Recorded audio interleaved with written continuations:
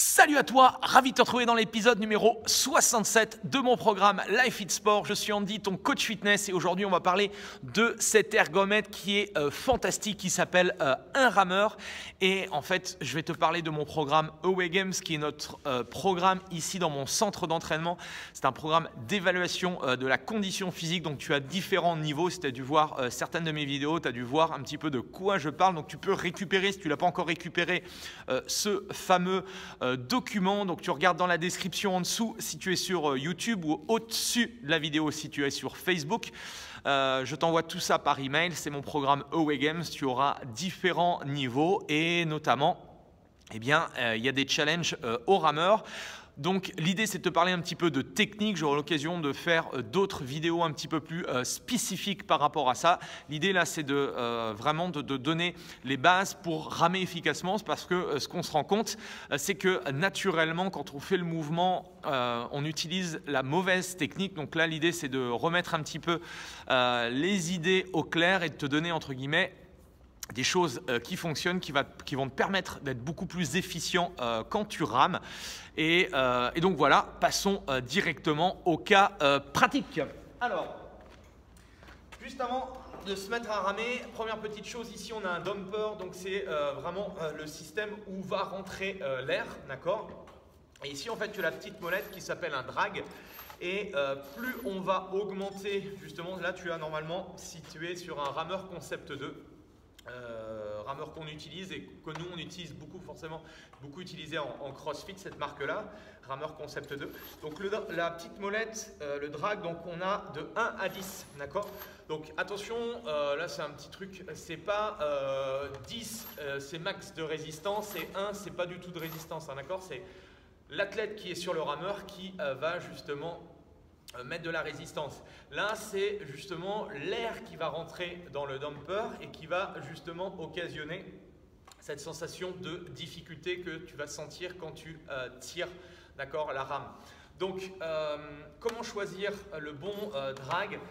Ça, c'est un petit peu plus complexe que, ça. Il faudrait faire des petits tests. J'aurai peut-être l'occasion de te, refaire, enfin, de, de faire des vidéos pour t'expliquer un petit peu ça. L'idée, en gros, euh, c'est à toi de ressentir et tu le verras quand tu vas commencer à t'entraîner, tu vas peut-être ressentir euh, les choses. Euh, il y a peut-être à certains chiffres, tu te sens mieux que d'autres. Donc ça peut être, on va dire, de manière un petit peu empirique à la sensation. pour donner un ordre d'idée, les filles, vous mettez entre 6 et 7 et les gars entre, enfin non, entre, j'ai dit quoi? Non, non, les filles entre, ouais, 4, 5, 6, d'accord? Et euh, les gars, 6, 7, 8, d'accord Moi, j'utilise, euh, je me sens bien au, 7. Euh, donc voilà, après, ça dépend de la morphologie, ça dépend de, ta, capacité justement à tirer fort, à être résistant, à être puissant, bref, à plusieurs facteurs. Mais en gros, voilà, 5 pour les filles, 7 pour les gars, ça peut être pas mal en petit test. Donc, une fois qu'on a réglé ça, ensuite, l'idée c'est de se mettre justement donc de placer les pieds. Ce qu'il faut au niveau des sangles, c'est que tu arrives en fait au premier lacet de ta chaussure, d'accord pour, euh, pour un bon petit euh, référence au niveau des, sangles. Alors euh, là, je ne vais pas te parler justement du rameur au crossfit et comment il faut être efficace si tu as un haut, un WOD où tu dois te déplacer et tu as plusieurs exercices. Là, on va, voilà, on va serrer un petit peu les sangles. Et tout simplement, alors il y en a qui s'excitent justement à descendre d'un rameur tu as les petites languettes de chaque côté. En fait, il suffit de les expulser sur euh, le côté, d'accord, de manière latérale. Et en fait, il suffit de lever un petit peu le talon, de lever les orteils et en fait de pouvoir descendre. Parce que si tu restes là, ben, c'est sûr que tu vas pas pouvoir euh, descendre, d'accord Donc il suffit de lever le talon et tu sors du rameur. C'est aussi simple que ça. Mais quand on ne connaît pas, ben, forcément, c'est comme toute chose, on n'y arrive pas et on s'excite. Alors ensuite, la partie technique, c'est ça le, plus important entre guillemets, c'est euh, cette notion euh, d'utiliser justement euh, efficacement notre corps pour ramer le plus bah, efficacement possible. Alors, première chose à faire, ça va être justement d'attraper la rame et d'être de chercher à être en position. Donc, on peut placer donc genou au-dessus de la cheville, d'accord? Ce qu'il faut, c'est de chercher à garder le dos le plus droit possible. Et le démarrage du mouvement, il va se faire avec les jambes. Donc là, l'idée, ça va être justement d'abord de chercher à pousser très fort sur les jambes, d'accord? Ensuite, on peut amener les épaules légèrement vers l'arrière. Alors quand je dis les épaules légèrement à l'arrière, d'accord, c'est pas j'amène les épaules complètement à l'arrière. Je fixe les épaules, les, épaules légèrement à l'arrière de ma hanche. Et ensuite, la troisième chose, ça va être de chercher à ramener la rame à peu près légèrement au-dessus du nombril. Donc les coudes, d'accord, vers l'extérieur, le buste droit, le regard vers l'avant. Donc ensuite, ce qu'on va faire, on va faire le chemin complètement inverse. On va d'abord commencer avec les bras, ensuite les épaules et ensuite les jambes. D'accord? Je répète, on a d'abord les jambes, ensuite les épaules vers l'arrière, ensuite la continuité avec le tirage au niveau des bras.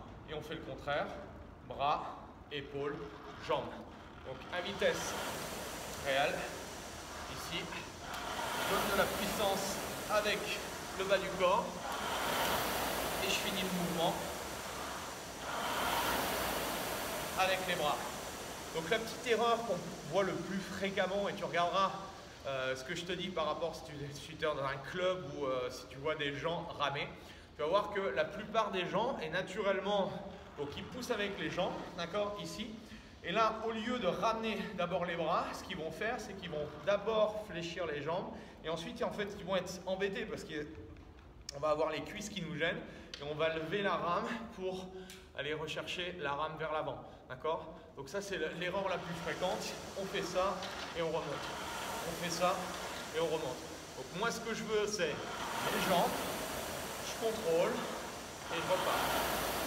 Contrôle et je repars. Ok?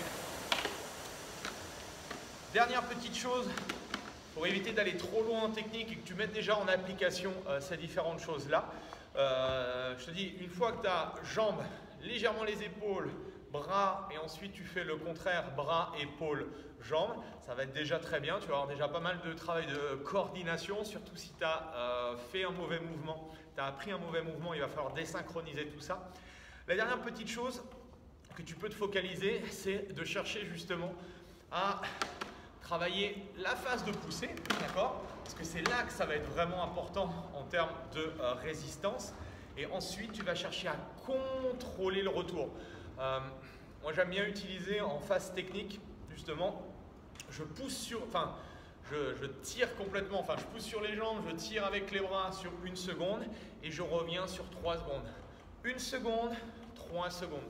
Donc ce qui est réellement important à comprendre, c'est effectivement ça, c'est que la phase de travail se fait vraiment sur l'aller. D'accord? Le retour, en fait, c'est un moyen justement de contrôler le mouvement, de récupérer pour pouvoir mieux repartir. Et en fait, après, tu vas voir qu'il euh, y a plusieurs euh, façons de voir la chose. Et plus tu amélioreras en fait euh, ta capacité justement à tirer fort et à garder une grosse vitesse euh, et plus tu as d'amplitude possible, plus ça te permettra justement d'aller très très vite en rameur. Donc c'est pour ça que effectivement quand on est, quand on est un grand gabarit, ça nous permet d'avoir énormément d'amplitude. Contrairement à des, des, personnes qui sont plus petites, d'accord? Donc ça avantage entre guillemets les grands, le rameur. Encore faut-il savoir justement euh, utiliser très très fort euh, l'accélération et garder une excellente vitesse. Donc si on a les trois facteurs, euh, une vitesse énorme, une vitesse d'accélération énorme et euh, une amplitude énorme, eh bien, euh, tu deviens un tueur en rameur. Donc il y, a, des compétitions également qui se font sur Rameur Concept 2. Tu peux regarder sur Internet, c'est de la folie. Euh, je t'en parlerai, tiens, je te, ferai une petite vidéo justement sur le, test, les tests que tu peux faire en rameur, parce que je trouve que c'est vraiment un ergomètre qui est vraiment, vraiment sympa. bref, en plus, c'est un, appareil qui permet euh, à la fois de travailler le haut, le bas du corps et aussi euh, le cardio. Donc c'est vraiment une machine euh, géniale. Enfin, n'hésite pas à me dire dans les commentaires un petit peu si toi tu utilises cet ergomètre dans tes entraînements, ce que tu en penses, si tu as des, questions à me poser par rapport à ça, si j'étais un petit peu clair par rapport à mes explications. En tout cas, merci à toi. Nous, on se retrouve bah, dès demain pour une nouvelle vidéo. En tout cas, merci, belle journée et à très vite. Salut